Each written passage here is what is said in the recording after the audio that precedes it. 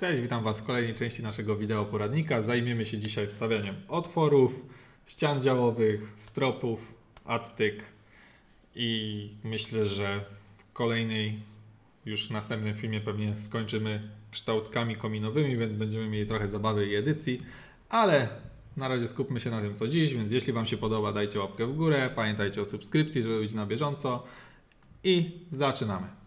Poziom plus 2,96. Wybieramy narzędzie ściana. Przypominam skrót z klawiatury WA, Waldemar Alicja. Możemy nasz projekt zapisać od czasu do czasu. I rysujemy do poziomu plus 5,80 z odsunięciem 18. Na arkuszu będziemy sobie później szczegółowo coś wymiarować. Ok, zmienimy sobie, żebyśmy rysowali licem zewnętrznym. Na razie nie zezwalamy na żadne połączenia. Zobaczmy jak tu nam lico by wyszło. Ok, coś takiego. Tutaj byśmy mieli w ten sposób to przedzielone. Łazienka osobno, tu jakaś garderobka, dwa pokoje. Tutaj będzie wnęka na szafę jakąś. Więc teraz jeszcze dla tych dwóch pokoi jakąś łazienka by się może tu przydała. Tu delikatnie Zobaczmy, jakbyśmy mogli to zrobić, żeby tu zmieścić jeszcze jakieś pomieszczenie techniczne. Może coś takiego. Ile tu jest głębienia? 100. To by pasowało. Dobra, coś taki jakiś mam tu pomysł na ten zarys. Włączmy teraz nasze zezwolenie na połączenie. Tu jest 118, więc to będzie taki, bym powiedział, jak w Harrym Potterze schodek, tylko schowek, tylko nie pod schodami, taki malutki. I co teraz? Tu jeszcze połączymy sobie, przytniemy trim. Tu zezwolimy i w tym miejscu. Ciach. Gdzie jeszcze? Tutaj mamy, to mamy. Jeszcze ta nasza ściana. Dobra. Więc tak, tu będzie łazienka dla tych dwóch pokoi, tu jakieś pomieszczonko. Tutaj mamy wejście, tu jest łazienka dla tej sypialni, tu garderoby zrobimy. Będzie ok. A tam nie jestem mistrzem planowania, ale powiedzmy, że gdzieś takie coś widziałem, więc się sprawdziło. Więc modelujemy. Ok. Czyli mamy nasze ściany działowe. Zajmiemy się teraz wstawieniem otworów, czyli drzwi. Tu wstawimy sobie jakieś okienko, żeby było do naszej klatki schodowej. Myślę, że tu wyjście na balkon z jednego, z drugiego pokoju, z tego też. Tu jakieś wyjście do tej strefy i będziemy przechodzić dalej. No to dobra, lecimy. Poziom plus 2,96, skrót z klawiatury CM. Pod modelem ogólnym kryją nam się otwory, więc będziemy mieli najpierw drzwi wewnętrzne 95 Oj, coś nieźle wybrałem. 95. Stawimy pierwszy otwór, stawimy drugi. Wejście, wejście. Tu też wejście na tą ścianę będzie się otwierało. Tu jeszcze do łazienki, tylko może wyśrodkujmy to bardziej. Hmm. Albo dosuńmy do tego komina, bo tu będziemy mieli komin, tu pewnie jakiś prysznic, tu jakieś łazienki, tu kibelek, coś wymyślimy. Wejście do garderoby jeszcze by się nam przydało. Dwa pokoje odwiedzimy. Dobra, drzwi wewnętrzne załatwione. Zróbmy teraz drzwi, a właściwie okna ze stawami zewnętrznymi. 240 na 235. Zobaczymy jak to się będzie nam prezentowało. Całkiem spore to jest 240, duża szerokość. Edytuj, powielimy może na 200. Jako szerokość 200, ok. Troszkę już mniejsze, więc się nam coś zmieści. Zrobimy sobie takie dwa tutaj te wejścia hop, tu się też powinniśmy z czymś takim zmieścić.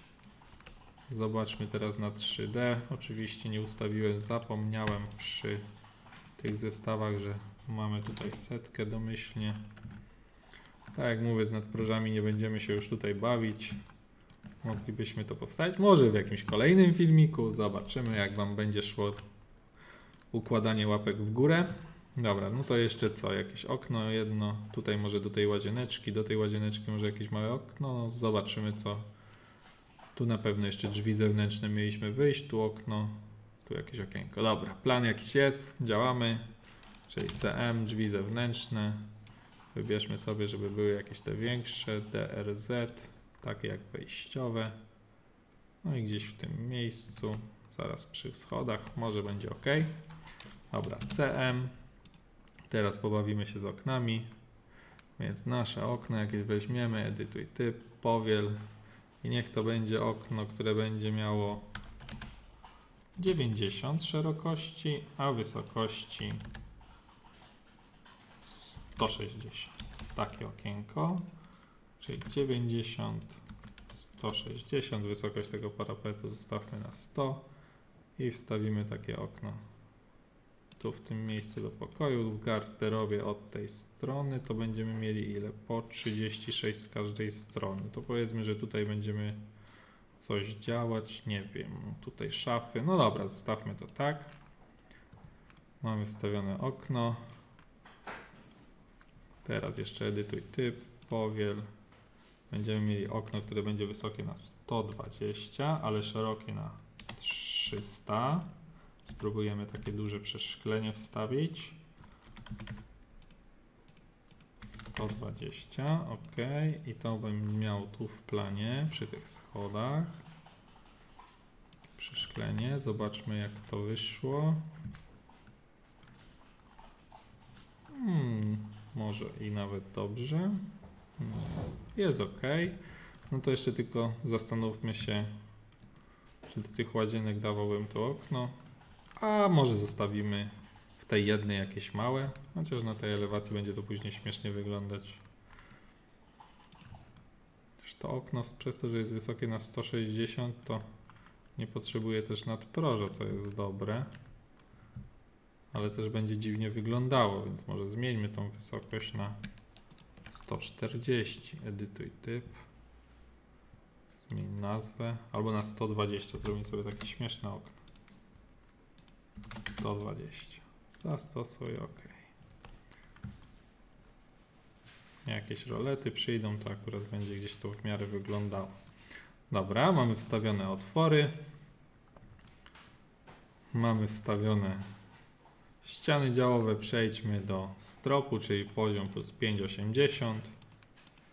Wysoki, spójne kolory. Pamiętajmy o ewentualnym podrysie, żeby to był poziom na przykład plus 2,96. Elementy, jeśli się nam nie chcemy, żeby się nam zaznaczały, to możemy odznaczyć tą opcję, więc teraz nie mogę ich wybrać.